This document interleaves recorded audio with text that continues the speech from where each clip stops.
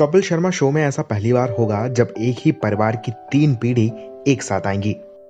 इस Weeknd the legend Dharmendra, उनके बेटे सनी देओल और पोते करण देओल एक साथ कपिल के शो में आ रहे हैं। यह एपिसोड अपने आप में इतिहास रचने जा रहा है। सलीम खान और सलमान खान वाले एपिसोड के बाद ये इस साल का दूसरा सबसे बड़ा एपिसोड है। इस दौरान धर्मेंद्र वो किस्सा भी शेयर करेंगे जब उन्होंने शराब के नशे में डायरेक्टर हरिकेश मुखर्जी को पूरी रात नहीं सोने दिया था। दरअसल ये बात साल 1971 से पहले की है। हरिकेश और धर्मेंद्र की मुलाकात प्लेन में हुई। पूरे रास्ते हरिकेश ने आनंद फ़िल्म की कहानी धर्मेंद्र को सुनाई। लेकिन उसके बाद उन्होंने इस रोल के लिए राजेश खन्ना को साइन कर लिया। जब ये बात धर्मेंद्र को पता चली तो उन्होंने गुस्से में खूब शराब पी।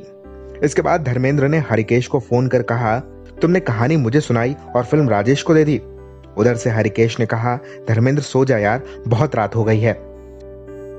फिर आधे घंटे बाद धर्मेंद्र ने हरिकेश को फिर फ़ोन किया और कहा, तूने मेरी जगह उसे कैसे साइन कर लिया? हरिकेश ने फिर उन्हें समझा बुझाकर फ़ोन काटा। धर्मेंद्र उसके बाद पूरी रात उन्हें फ़ोन कर तंग करते रहे।